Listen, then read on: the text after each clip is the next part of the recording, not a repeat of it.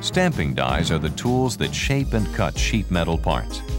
The design and production of dies is a specialized profession in which prepared drawings are translated into stamping dies by skilled craftsmen known as die makers.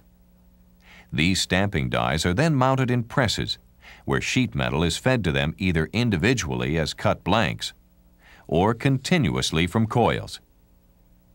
There, the press provides the force to close the dies where they form the sheet metal into finished parts.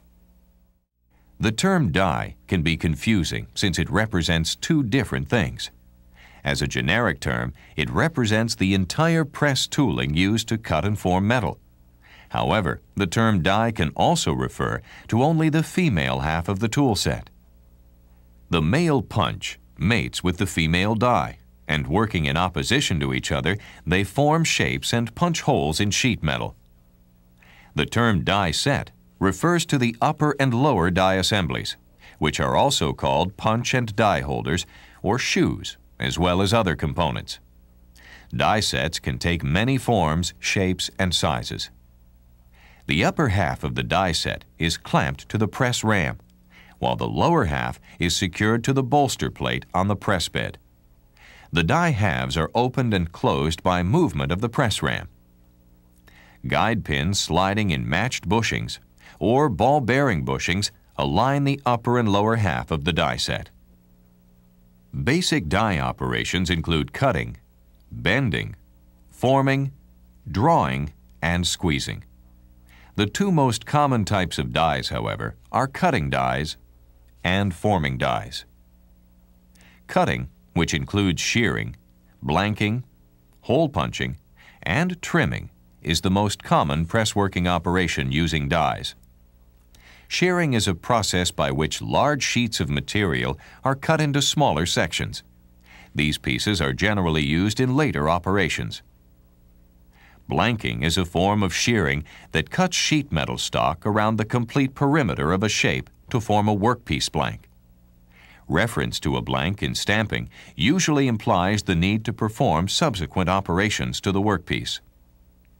Punching is the cutting of a slug from the sheet metal stock to produce a hole.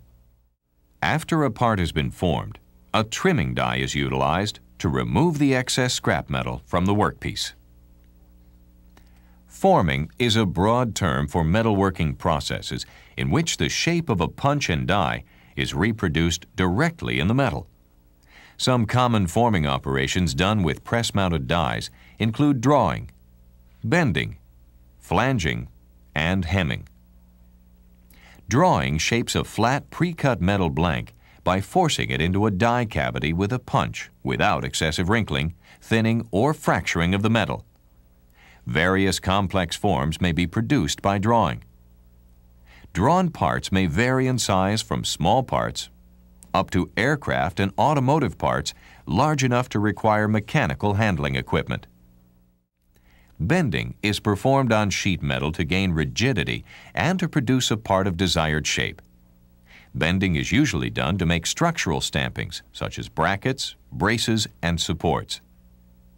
Flanging is a forming operation similar to bending except that the flanged edge is shorter and narrower compared to the overall part size.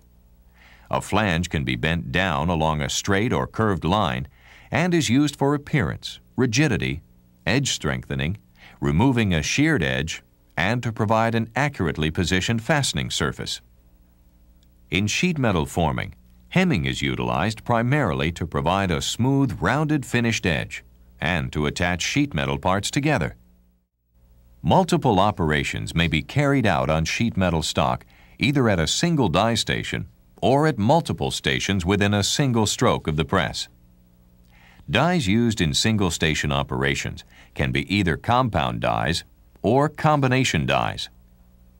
Compound dies are press tools in which only cutting operations are done, usually blanking and hole punching.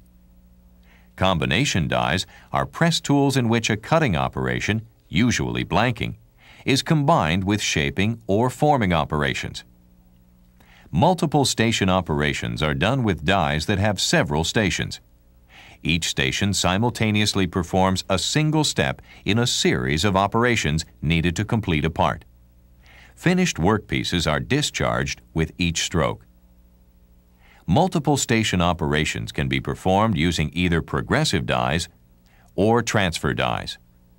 In progressive die operations, parts are made from continuous coil stock and remain connected to the stock by a carrier strip during each successive operation until the final cutoff and discharge from the die. In transfer die operations, parts are blanked before or at the beginning of the sequential operations. Mechanical transfer devices grip and move the individual workpieces from die station to die station within a single die to complete a progression of operations. With large workpieces, a tandem press line may be utilized. Parts are transferred by gripping devices from press to press, instead of within a single die. Each press within the tandem line holds its own tooling and performs specific operations to form, trim, and pierce the part.